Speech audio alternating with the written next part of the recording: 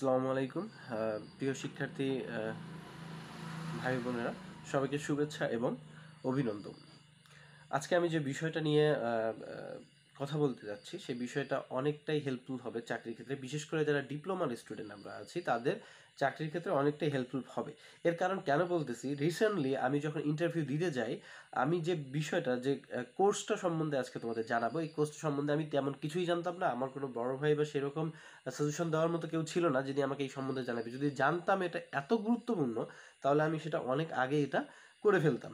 যা না করার কারণে আমি দুই দুটো চাকরি ইন্টারভিউতে মানে সিলেকশন হয়নি। সব কিছু ঠিক থাকার পরে আমি দুই দুটো ইন্টারভিউতে সিলেকশন হয়নি। কিন্তু চাকরি দুটো খুব মোটামুটি ভালো মানের ছিল। খুব ভালো বলব না, মোটামুটি ভালো মানের ছিল। সো আমি যে কোর্সটার কথা বলব, এটা ডিপ্লোমা যারা পড়তেছে তাদের জন্য খুব বেশি ইম্পর্টেন্ট এবং যারা ডিপ্লোমা ছাড়াও স্টুডেন্ট আছে, এই কোর্সটা আমরা এসএসসি কমপ্লিট করার পরেও করে ফেলতে পারি। তাদের জন্য খুব ইম্পর্টেন্ট যারা টেকনিক্যাল লাইনে আছে।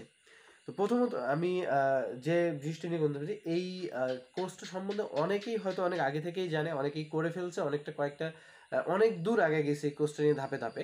কারণ এইটা এমন একটা সার্টিফিকেট এটা not only Bangladesh not only Bangladesh, এটা বাইরের দেশেও শো করা যায়, বাইরের দেশেও এটা অনেক গ্রহণযোগ্যতা আছে। তো আমরা ইতিমধ্যে অনেকেই নাম শুনছি যে হচ্ছে N T V Q F N QF যার এফ পূর্ণরূপ হচ্ছে national training and vocational qualification framework আমি আবার বলতেছি national training and vocational qualification framework এটা এটা এমন একটা কোর্স যে কোর্সটা করলে চাকরির ক্ষেত্রে অনেকটা সার্টিফিকেটের মূল্যায়নটা বেড়ে যায়। আমাদের ডিপ্লোমার সার্টিফিকেটের পাশাপাশি যাদের এই এর একটা সার্টিফিকেট আছে, সে চাকরি পাওয়ার অনেকটাই পসিবিলিটি হয়ে যায়। যদি তার চাকরি পাওয়ার সম্ভাবনা থাকে বিশ পার্সেন্ট এই সার্টিফিকেট থাকার কারণে অটোমেটিকলি পঞ্চাশ পার্সেন্ট হয়ে যায়। এর কারণটা আমি আপনাকে বলতেছি, সেটা হচ্ছে যে এই প্রজেক্টের মাধ্যমে, এটা একটা প্রজেক্ট বাট এই শর্ট কোর্স মাত্র করতে এক একটা লেভেল করতে এর তিন দিনের মতো সময় লাগে এবং এর, আমার জানার মতো এর আয়তাধীন আছে হচ্ছে ছয়, ছয়টি লেভেল কিন্তু আমাদের বাংলাদেশের মধ্যে হয়তো ছয়টি লেভেল অ্যাভেলেবেল নাই। আমাদের বাংলাদেশে এখন চারটি লেভেল অ্যাভেলেবেল আছে। তার মধ্যে যে কোনো একটা লেভেল যদি কেউ করে রাখতে পারে, সেটাই তার জন্য অনেক গুরুত্বপূর্ণ একটা বিষয় থাকবে।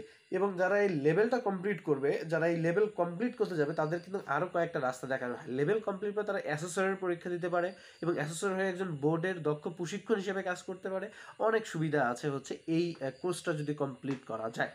তো আমি এখন আসলে এই গ্রুপ সম্পর্কে আমি যতটুকু চেষ্টা করছি বোঝানো যায় এটা সবার জন্য খুবই ইম্পর্টেন্ট এবং যারা দ্রুত সময়ে চাকরি পেতে চায় আমি মনে করি তাদেরকে এই কোর্সটা যত তাড়াতাড়ি করা সম্ভব, তাদের এই লেভেল করাটা প্রয়োজন। যেহেতু আমি নিজেই বুঝতে পারছি লেভেল না করার কারণে আমি দুই দুটো চাকরি হাতছাড়া হয়ে গেছে।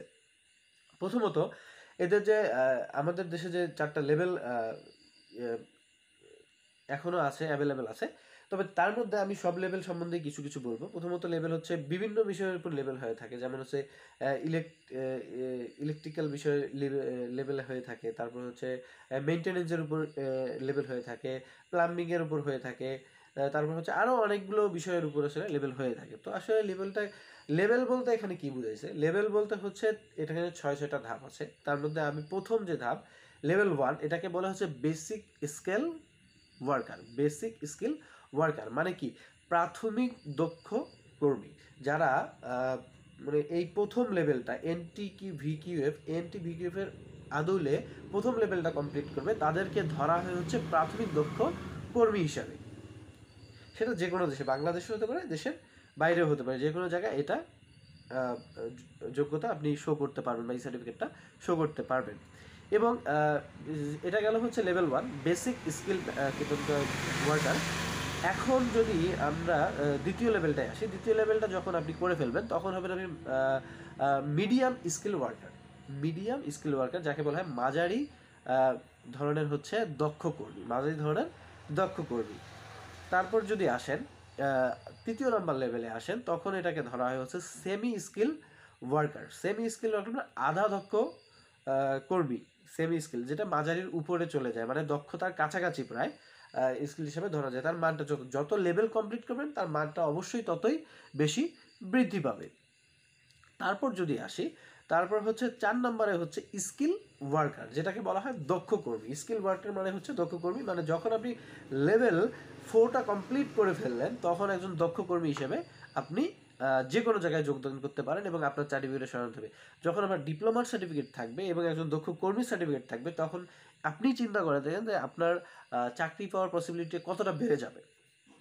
এবং সেই সঙ্গে পাঁচ নম্বর লেভেল যখন কমে হাইলি স্কিল ওয়ার্কার মানে কি? উচ্চ দক্ষতা সম্পন্ন একজন কর্মী। হাইলি স্কিল ওয়ার্কার মানে তার মানটা আরও কত বেড়ে গেছে। এবং সিক্স যে লেভেলটা আছে, সেটাকে সুপারভাইজার লেভেল বলা হয়।